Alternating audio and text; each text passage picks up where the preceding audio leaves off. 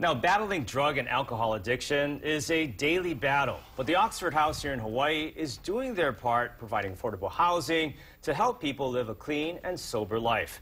Sione Kenny and Tracy Parker from the Oxford House join us in studio.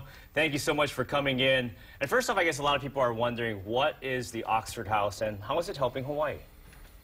Well, Oxford House are clean and sober houses that um, we like to call recovery homes. Okay. And we're helping people that suffer from the addiction of um, alcoholism, um, opioid abuse, uh, methamphetamines, um, get them off the streets. We're helping with homelessness, providing homes.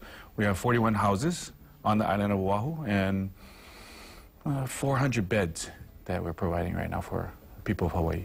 So what is the difference between, between the Oxford House and, say, a halfway house? Let's see. The diff big difference is that we are democratically run.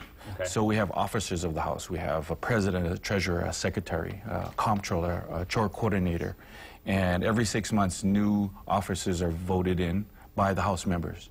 Every week we have a mandatory House meeting that uh, we follow the parliamentary procedures. Uh, I make a mm-hmm. motion, second the motion. You know, all in favor, aye and that kind of thing. So um, that's a huge difference. We don't have a paid staff that lives, lives in each and every one of the houses. And about uh, four, maybe about 2,500 houses around the world okay. in five different countries, Ghana, Africa, and, you know, here in Hawaii. So basically the houses treat people like adults, uh, being responsible, and you guys are actually success yes. stories. Talk yeah. about that, Tracy. Thank you.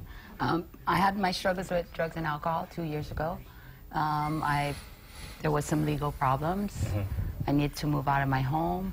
I opened up, I helped Mr. Kenny, and I opened up a clean and sober female house in Kaneohe, which is very successful right now.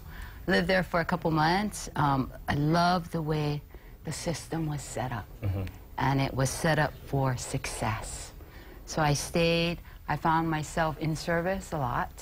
Um, just June, they asked me if I wanted to be an outreach worker. So now I am an outreach worker for Oxford House Inc. So you can relate to the people and say, look at me. Yes. yes. So I'm wondering, how can people help out there that are wondering, how can they help?